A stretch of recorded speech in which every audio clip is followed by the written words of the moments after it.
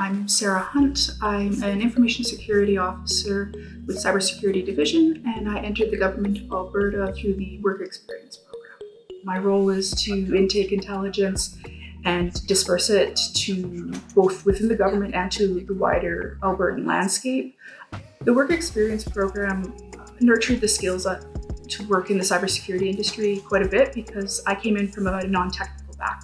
I was a graphic designer at one point, uh, investigator, low voltage electrician, photographer. But all of those jobs, uh, and cybersecurity included, are really detail oriented. And I found that to be particularly helpful when I was entering the role, as I was able to focus on the specifics needed for each position that I rotated through during the work experience program.